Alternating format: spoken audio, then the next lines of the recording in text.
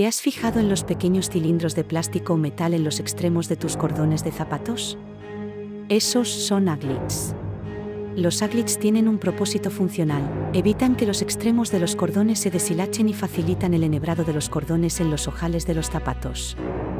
Además de ser útiles, los aglets también pueden ser elementos decorativos o para personalizar tus zapatos. Ahora que sabes qué son los aglets, fíjate en ellos la próxima vez que te pongas tus zapatos favoritos.